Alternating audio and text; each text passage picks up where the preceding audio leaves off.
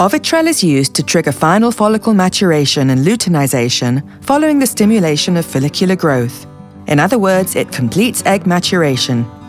Do not store at temperatures above 25 degrees. It should be placed in the refrigerator door. Store in the original packaging in order to protect the preparation from light and protect from frost. Medicines must always be taken as directed by the doctor.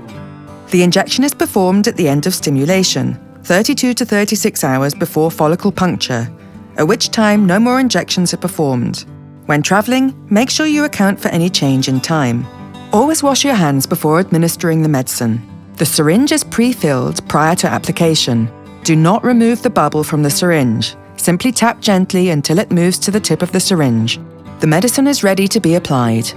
For the injection, choose an area around the navel in the lower abdomen and change the site of the application every day.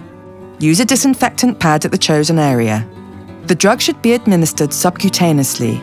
Therefore, the injection should be performed at an angle of 90 degrees while holding the subcutaneous tissue. Insert the whole needle into the subcutaneous tissue and apply the medicine by squeezing the side of the syringe. Dispose of the used syringe with needle in a container and use a new needle every day. Side effects are not common with these medicines. You may experience, for example, headaches, nausea, pain, redness, itching, irritation, or swelling and hematoma at the injection site, or lower abdominal pain.